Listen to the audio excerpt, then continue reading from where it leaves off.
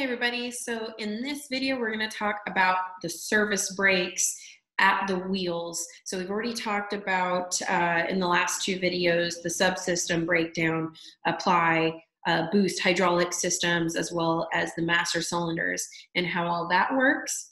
Let's talk about what happens when that fluid reaches the actual wheel brakes or service brakes. So I'm going to go ahead back here to screen share. So our service brakes, when I use that term service brake, remember we're talking about the hydraulic system um, in itself and it doesn't want to go to present. Present. Okay. And there we go.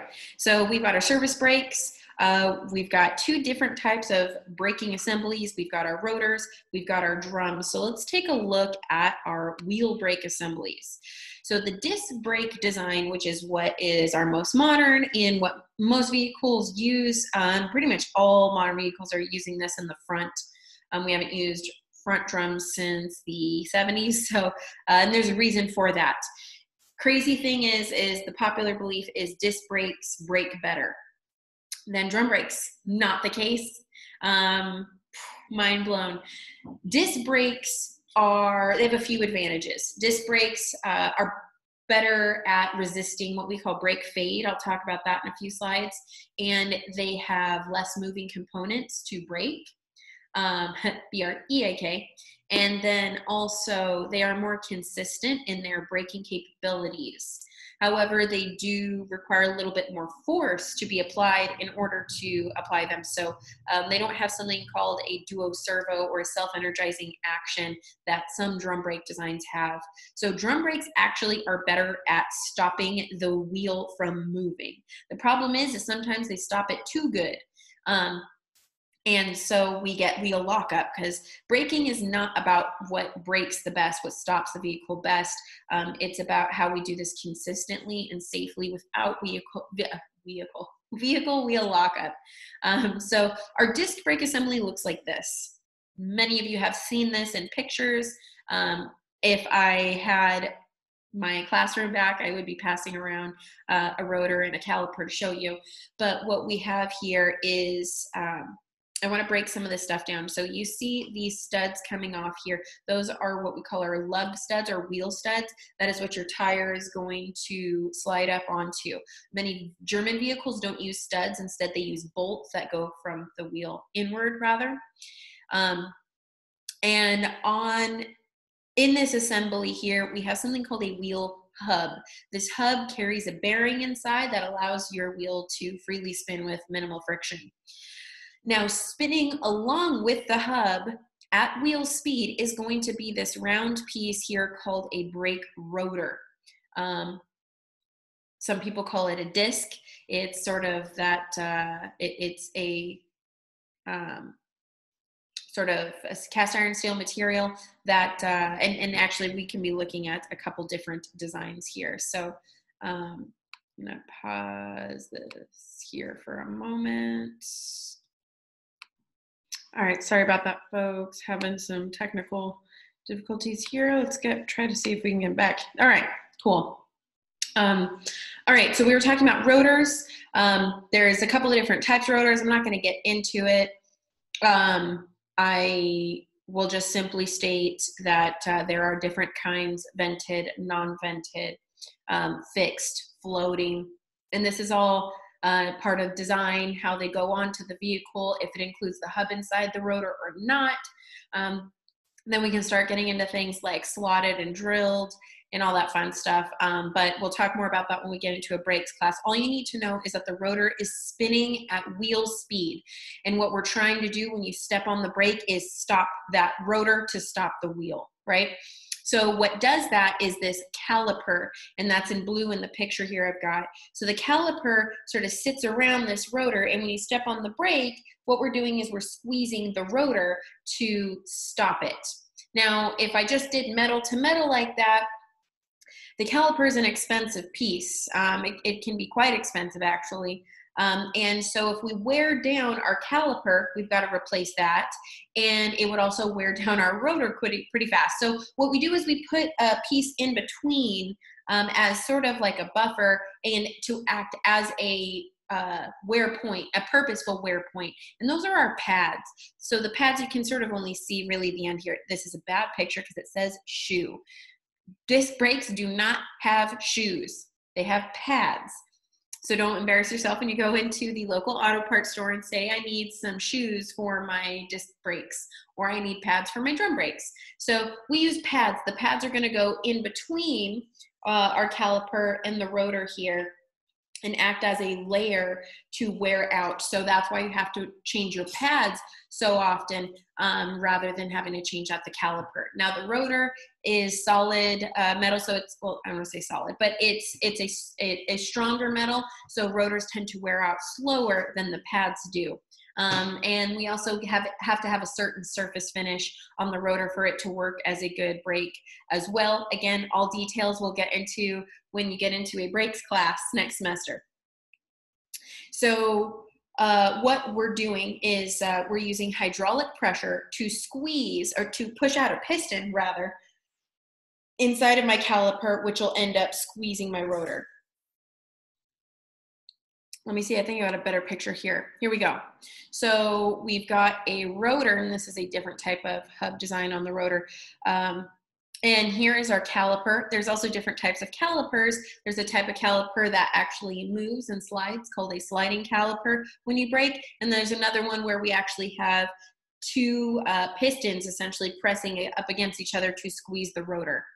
Um, I will definitely include videos in the Canvas module to um, show you what that action looks like on both so you you can sort of get the idea. Again more stuff we'll talk about when you get into a brakes class but um, another picture i stole off the googles here from raparacer.com um, we've got our rotor that's spinning here's our pads and in this red here we've got our caliper that is going to uh, these pistons inside. So you can see we've got, uh, this is a bleeder, but we're gonna have a hydraulic line going and feeding this rotor, or I'm sorry, this caliper rather. And it's going to put hydraulic pressure in this design on both sides, pushing pistons inward to squeeze the pads against the rotor. In other designs, we may just have one piston on one side um, and we end up sliding the caliper to squeeze the rotor. In a drum brake design, it's not quite so simple. We've got a lot more moving components here. So instead of pads, our wear component are shoes. And instead of being pushed inward to squeeze a rotor, we're using, instead of using a caliper, we're using a wheel cylinder, and that's this tiny little piece up here. Very similar to cylinder with tinier pistons. We don't need as much force in a drum brake, um, which is what I was mentioning earlier. So those wheel cylinder pistons are going to move outward this time. And instead of using pads, we use shoes. So our shoes are much longer in design. And we've got one on the front side, one on the back side. Um, on top of all of this, we've got a drum. Now, this drum you can see has holes for our lug studs. Um, the drum is going to be spinning at wheel speed, very much like the rotor is. So we need to be able to stop the drum.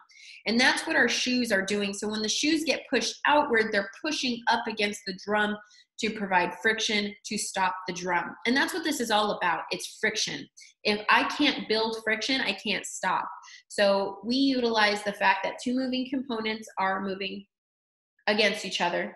And we're utilizing the surface finish, the surface material, uh, to create a friction, which is going to turn into heat. So we're going to try to change our energy uh, from a kinetic energy into a heat energy.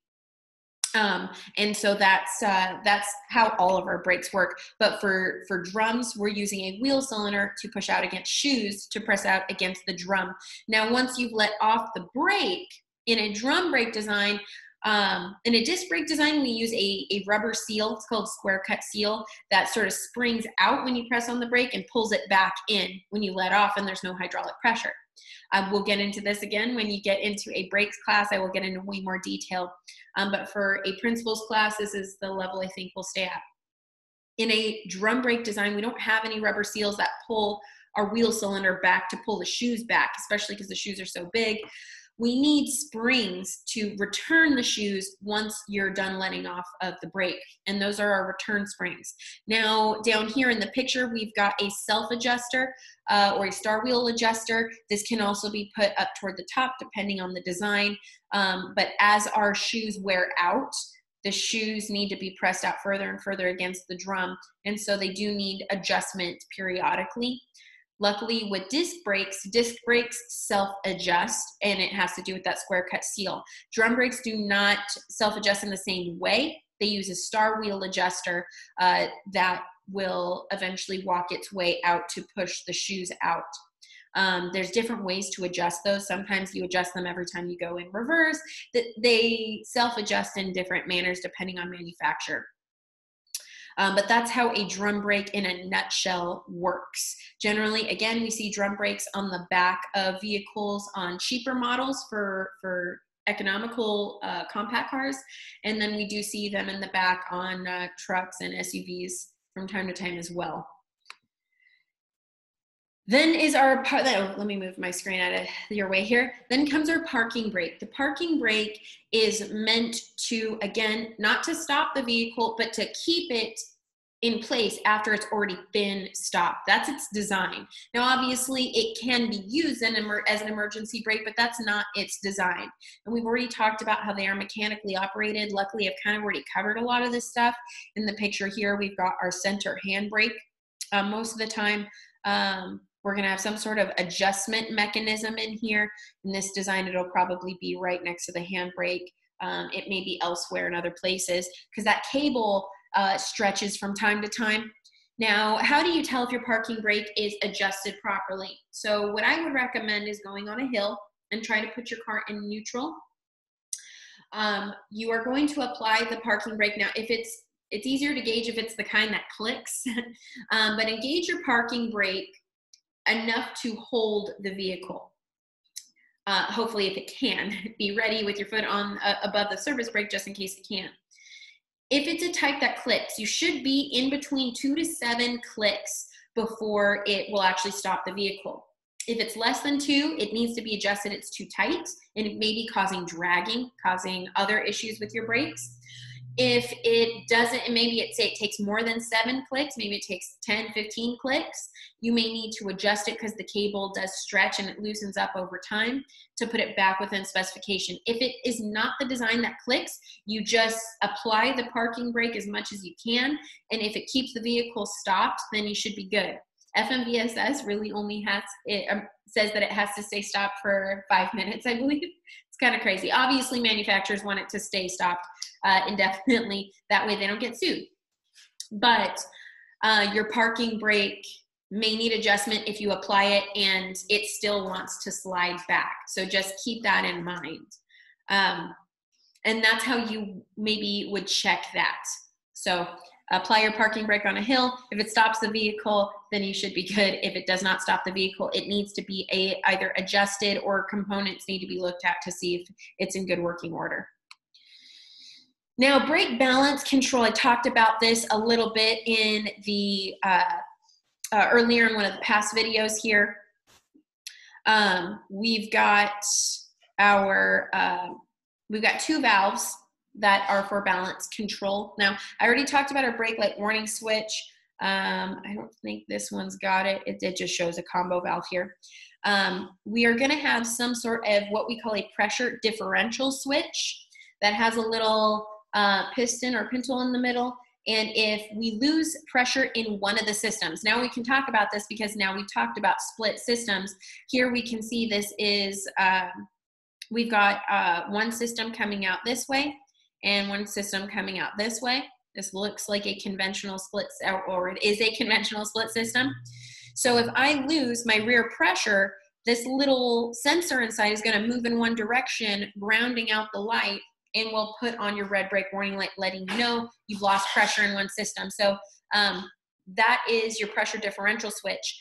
A metering valve, we'll get more into this stuff when we get into an actual brakes class, but your metering valve is actually going to delay your front brakes. Sort of crazy. And you're only needing a metering valve if you have rear drums. If you have all four discs, there's no need for a metering valve.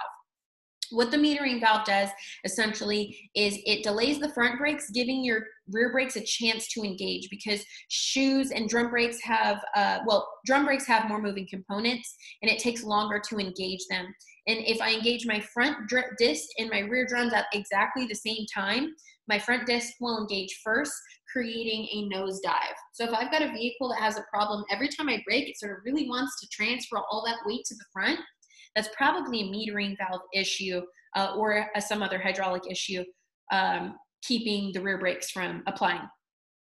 But that's a metering valve in a nutshell. The proportioning valve is simply going to limit the pressure going to your rear. So we don't want to apply equal pressure to my fronts and my rears. And this has to do with the amount of braking being uh, applied. Remember we mentioned that 70% of our braking is done up front while 30% roughly is done in the rear well then that means I need to uh, I, I need to moderate how much brake pressure is going to my front versus my rear based upon that. If I put too much brake pressure in my rear, let's say I do uh, the same pressure in the front as the rear, my rears will lock up most of the time, and, and that's what we don't want. So we're going to limit the amount of rear pressure so we don't get rear wheel lockup and that we have ample amount of pressure in our front um, as well as the rear. And that's what our proportioning valve does.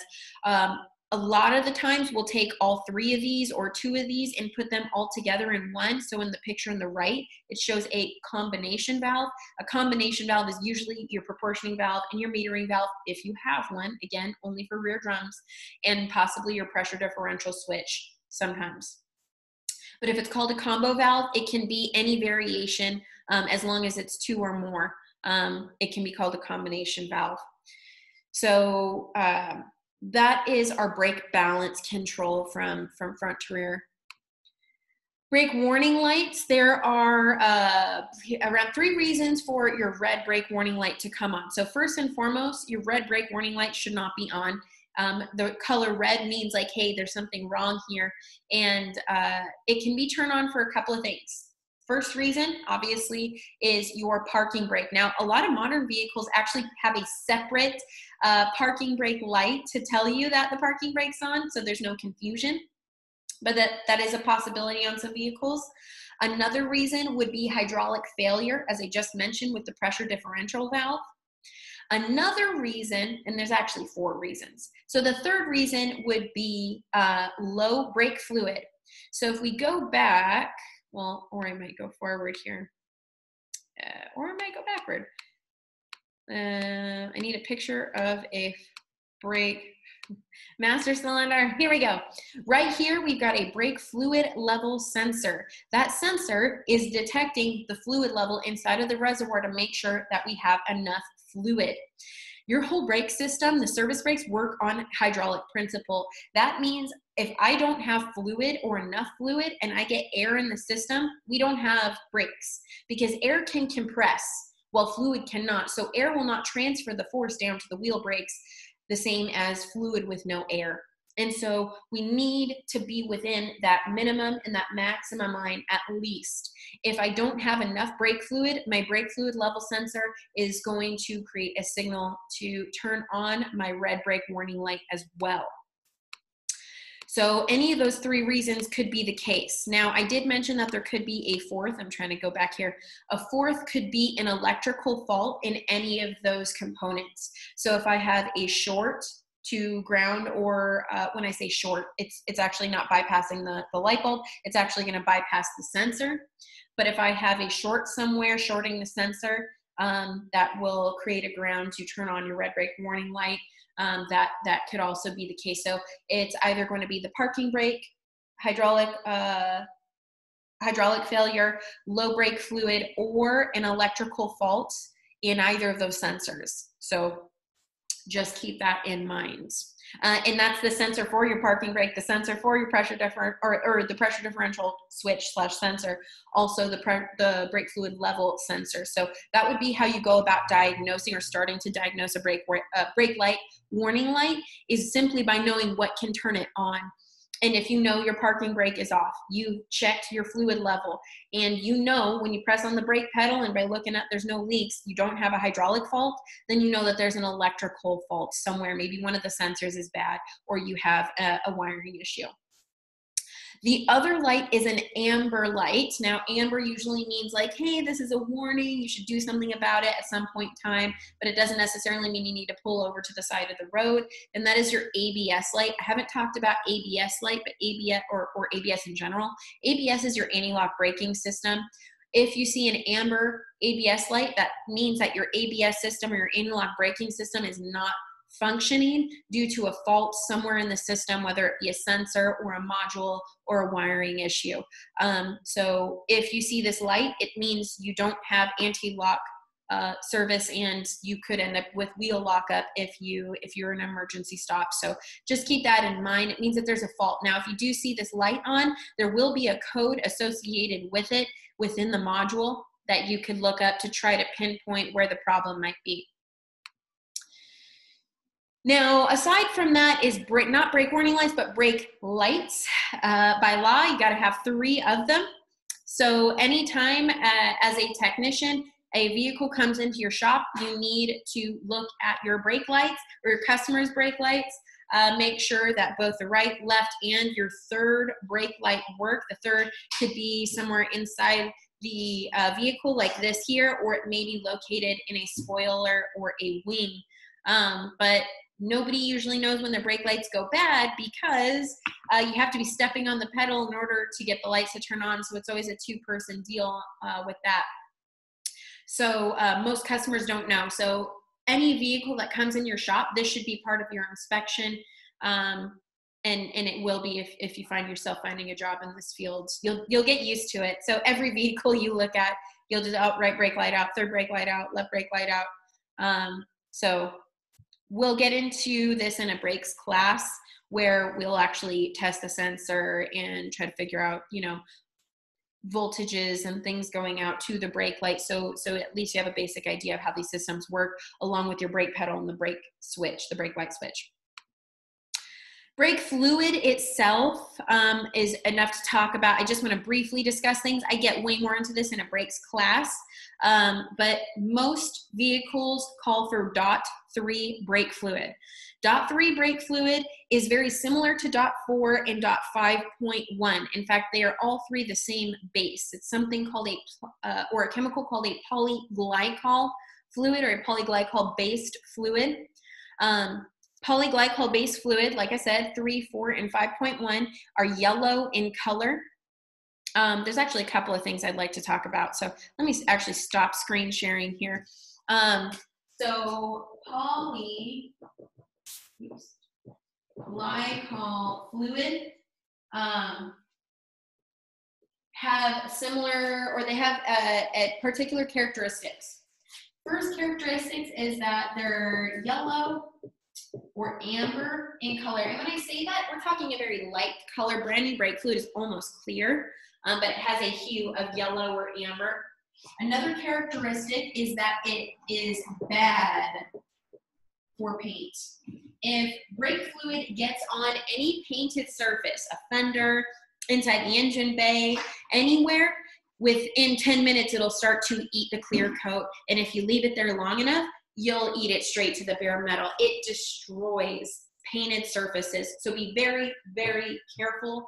Um, if you're dabbling in any of that stuff, you're doing brake flushes, you're changing a master cylinder, you should be using some sort of fender cover on the vehicle um, so you don't damage that surface. Also, um, another characteristic, and, and what will help lead sort of from this one and the next, if you get this on painted surfaces at all, it's not the end of the world. You can wash it off with just water and you'll be just fine.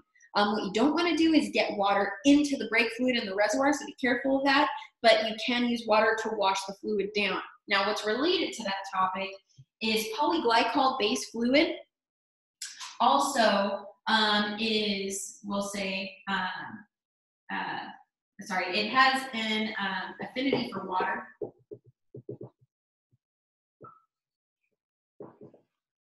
Uh, it's what we call hygroscopic, meaning that it likes water. Uh, in fact, it absorbs water. Water will actually blend in with the fluid, um, and you can't even see it. The problem, and, and, and the reason why we don't want this is because the fluid needs to have a high boiling point because we're talking a lot of friction, a lot of heat, and that heat's going to get transferred into the brake lines, into the fluid. If that fluid boils, what happens to any fluid that boils? It aerates, and we get air in the fluid. Problem I just mentioned a few slides ago is if we get air in the fluid, then that air can squeeze and compress. So when I step on the brake pedal, before I actually get anything down at the service brakes, I have to compress that air until it can't anymore, and then it will move fluid down to fluid pressure down to the service brakes or the wheel brakes. And so that's a that's a big problem. Um, we there's actually a word for that. That's actually hydraulic uh, hydraulic fade when our fluid boils. And the only reason we really get that problem, besides racing in any customer vehicles, is because the fluid has absorbed too much water. There's a number of reasons this can happen.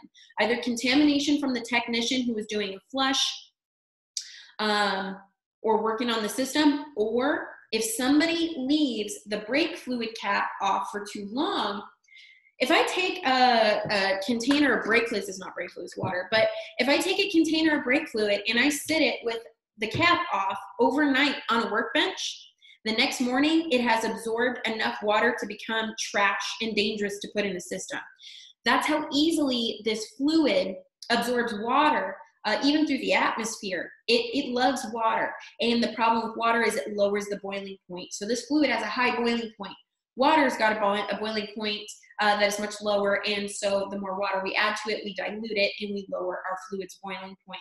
So any polyglycol dot 3, dot 4, and dot 5.1 fluid is hygro or hydroscopic, meaning that you need to keep it sealed if at all possible whenever possible. So if you're checking brake fluid, take the cap off, put that sucker back on. Don't leave it off unless you have to because you're doing a flush or whatnot. Um, so just keep that in mind, which is why I mentioned um, when you're rinsing stuff off, maybe got fluid on it, don't get the water inside the brake fluid. Uh, just keep that in mind. So um, that's a big deal on your polyglycol fluid. Um, but besides that, uh, and, and because of this, it has a service life of about two years. So 3.3, 4, and 5.1, after two years, even if it's sealed in the system, um, it's not perfectly airtight, after two years, brake fluid, even if it's perfectly clean, will have absorbed enough water for the boiling point to become dangerously low. So brake fluid, no matter the mileage, uh, should really be serviced every two years if it is a .3, 4, or 5.1 polyglycol based fluid. So just FYI, that is part of service. Also, while we're talking about this, um, this is something I saw in the field Customers will go 10 years without a brake flush, and you pop the cap open, and it looks like a thick, dark chocolate milkshake inside of there. Um, it, it's just black and thick, or like thick black coffee. I don't know, whatever tar. It it looks bad, and you're like, man, this thing needs a flush, like years ago. If you do that, the master cylinder may be trash after you flush because the gunk in the fluid might be what's holding it together. So just keep that in mind. Um, if, if you're dealing with that at a shop, maybe you just started working, you, you haven't seen this trend yet, um, always let the customer know like, hey, the fluid's in such bad condition. If I do a flush, I might, uh, the master cylinder may give out. So if a customer knows that, then they can say, okay, well, if it happens, I'll pay for it. So just communicate with your customer. Um, that customers want communication. When you go to the doctor, when you go to the dentist, you go to people who you're trusting their their their knowledge. You want communication. You want them to tell you what's going on, so you you can be a part of of the process to understand what why they may need to be prepared to buy another part um, if it goes out. So, anyways, neither here nor there. We'll talk more about that when we get into a brakes class but this fluid does have a two-year uh, service life, um, so just keep that in mind. So that's a polyglycol-based fluid. Um, the other type of fluid, and while I'm here, I might as well talk about it. Um, dot three, four, and 5.1 fluid. Some of you guys might be thinking, well, what's the difference between them? Why are there different numbers? Dot three, dot four, and dot 5.1, those numbers are referring to the boiling point generally. At least that's how it started. So dot three is gonna have the lowest boiling point. But if you're an everyday driver just to and from your, your work or whatnot, and you don't really do a whole lot of performance type stuff, you don't really need anything more than dot three. Dot three does just fine. Uh, dot four would be the next step up. Uh, a lot of motorcycles. So uh, when it comes to cars, dot three is the most common recommended by OEMs. Um, motorcycles, most common is going to be dot four, and this has to do with the amount of heat generated and, and things like that. Um, but that is a higher boiling point. Dot 5.1 was going to be the highest. This is more of like racing brake fluid. It's going to be for a performance application um, where your brakes are going to be getting quite a bit hotter and fluid is going to be, tra- or heat's going to be transferred to that fluid uh, quite a bit more. So that is, it's really more of a heat range or boiling point range. So moving from polyglycol, the next one down would be uh, dot five, so just regular old dot five. Dot five is what we call a silicone base.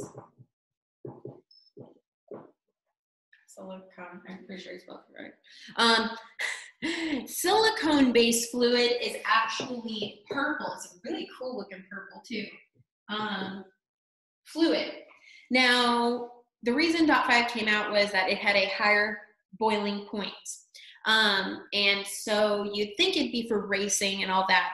But Dot 5's best quality is it's not bad for paint.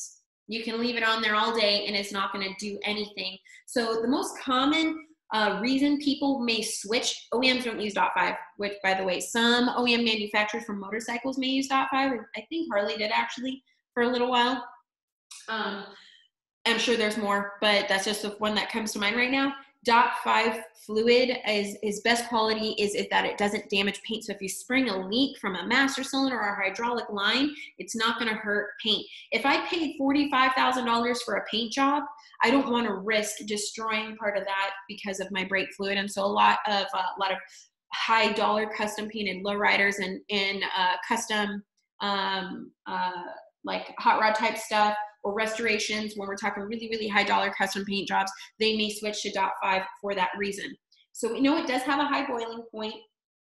Uh, we know that it doesn't hurt paint. However, uh, it does have a weak point, and actually it's a couple weak points. One of the weak points is, is that it has, and I'm using the same term, and it, it's not really in the same fashion, but just for the lack of a better term, it has an affinity for air and we know that we don't like air, right? So the problem with dot five is that it is hard to bleed of air sometimes, can be a real pain in the butt because it does. And, and it doesn't absorb air like in the sense I just talked about uh, dot three, uh, polyglycol with water. The reason why it holds on to air more is because it's actually a thicker viscosity than your other brake fluids. And this is the exact reason why we don't use dot five in racing very often. We don't use dot five in racing because it's thicker in viscosity, meaning uh, its consistency is thicker than polyglycol fluid. Why is that a problem? You, and, and we're talking very minute amounts, but it actually changes your brake reaction when the fluid is thicker. And so for racing applications, we may not want to use dot five because we need that reaction time. Um, where maybe if, if I've got a trailer queen with a custom paint job, that's not a really big issue for me. But if I'm a NASCAR driver, um, that's a big issue for me, right? So uh, most of the time we don't see dot five in racing for that reason. It is is because it, it has a thicker viscosity. Um, and that thicker viscosity allows or, or allows the affinity for air to sort of happen. So it tends to hold on to air pockets like honey would rather than water, right? Water would release air pockets faster than say honey. And, and that's a, obviously a gross exaggeration, but that's part of the reason why it has such an affinity for air. Um, so that is our uh, dot five silicone uh, base brake fluid. Now there is one more, um, and there's not uh, I, have got a picture. So I'm going to go back to my screen share here. Um, So here's our dot three, four, 5.1 fluid. Here's our dot five fluid. Again, we don't use this in OEMs. Um, there's a couple of other features. I, I don't want to get too into it because this is more of brakes class stuff, but uh, polyglycol fluid has a tendency to swell seals. So you actually get less, um, you are less prone to leaks with polyglycol fluid. However, if you do burst a leak, it will destroy paint. Dot five is more prone to leaks because it doesn't have those seal softening capabilities. Same with HSMO, um, which is what I'll talk about right now. Um, but HSMO or hydraulic system mineral oil is going to, instead of a silicone or a polyglycol base, is going to be a petroleum base. And yes, it's similar to, say, like oil or transmission fluid. It is bright green, like Hulk green in color. It looks really, really cool. It has a super high boiling point.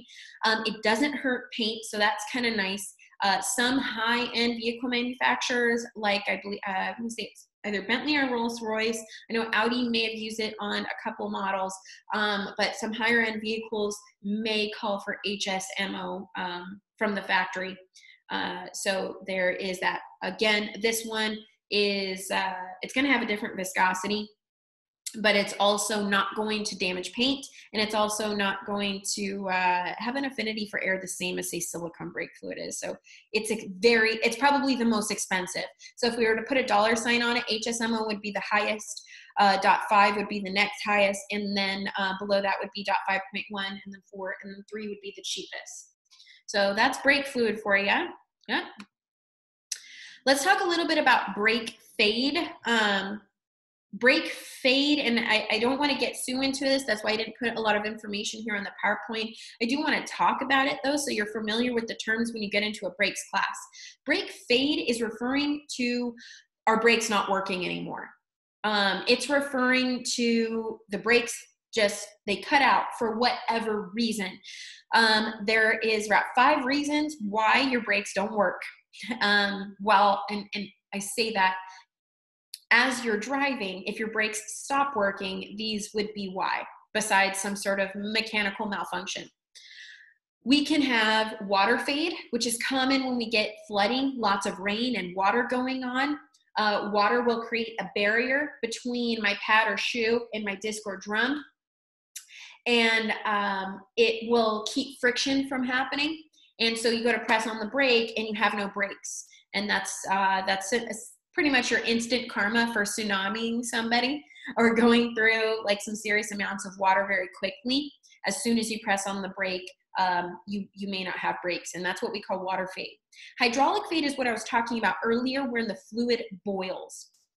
So if my fluid boils, um, I get air pockets and I'm gonna get a really spongy brake pedal. And then we're not gonna have our brakes work near as good, if at all. Um, if you saw Ford versus Ferrari, uh, he actually kept having this issue when they were um, trying to build up the GT. In the end, I think it ended up killing um, uh, the the driver. So um, that, but that's hydraulic fade. That could have been. I don't know if they were uh, dealing with that or if they were referring to a gas fade, but he was having a brake fade issue because the brakes were getting too hot.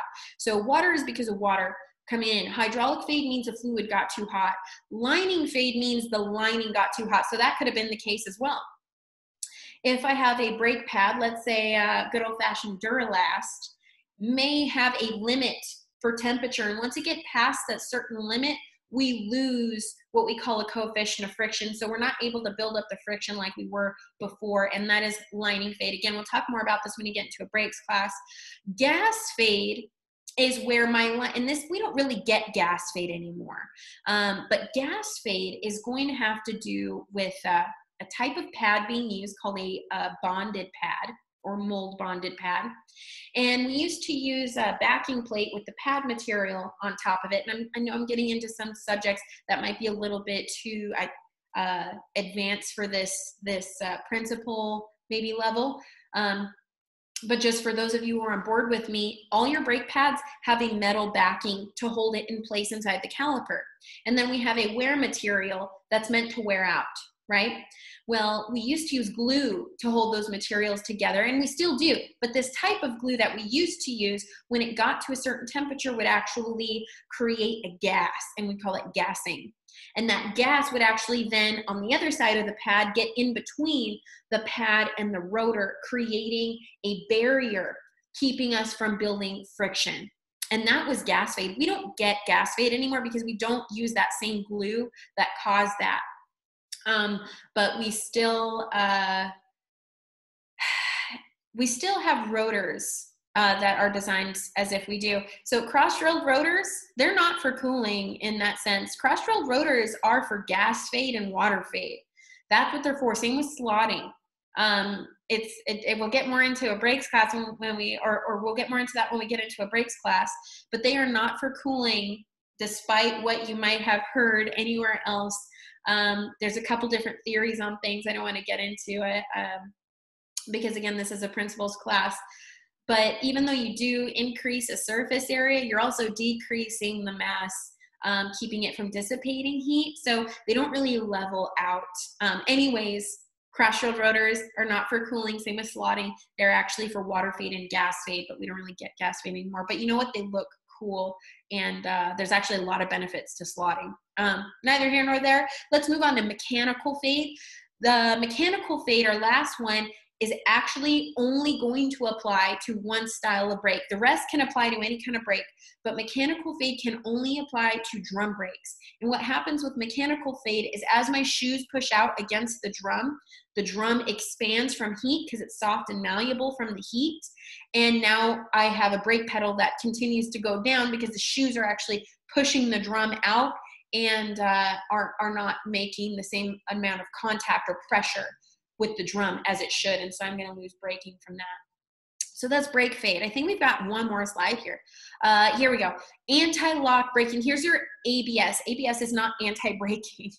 Um, when I taught high school, that's what uh, I used to get all the time. ABS is anti-braking system. No, that would not serve a purpose. Anti-lock braking systems, however, serve uh, quite a good purpose, as well as traction control. Most of the time, we're using the same things to do uh, to, to utilize both of those. ABS simply allows you to brake without wheel lockup. It doesn't necessarily mean you're going to brake faster. Um, what ABS essentially does is it applies the brakes and unapplies the brakes at an insane rate. So we'll, we'll apply pressure until we get wheel lockup and then we let off and apply pressure and, and we keep going back and forth many, many, many times a second um, in order to keep this from happening. Now, why would you want to do this? Skidding sometimes can actually get faster or, or get you to stop faster in some cases because we're also providing a friction. The problem with lockup or wheel lockup is we lose directional control. You can turn the steering wheel and your car is going to plow right into whatever it is you're going into. With anti-lock braking, you are able to maintain directional control while you're braking. And that's what's important. That way you don't run into the person or the cone or uh, the car in front of you. And that's that's really the big purpose of anti-lock braking. Um, we'll get into how this whole system works when you get into a brakes class um, because it uses a lot of solenoids, it uses a control module, it uses wheel speed sensors, and it compares wheel speed. If I see one wheel that's moving slower than the rest, I know that, that I've got wheel lockup on that one wheel, and then it will adjust my braking pressure on that one. What's nice is I can also use that as a double feature um, when I lose traction in my traction control systems to reduce slippage when you're possibly accelerating or turning. Um, so there's a lot of uses for anti-lock braking systems. It's standard, I wanna say it was 2008, ABS became standard on every car. Before that, it did used to be a like a fancy feature. Um, not all vehicles had them. So um, that is our brakes lecture. Um, I believe, yep, we've hit the end there. So hopefully you had fun. Um, if you have any questions at all, please send me a message, send me an email. Um, I'm hearing crickets out there. I see you guys are taking the tests. I'm, I'm hoping that lecture is uh, because I'm hearing nothing. Maybe that means y'all are doing okay out there. Um, I know this online platform is sort of tough.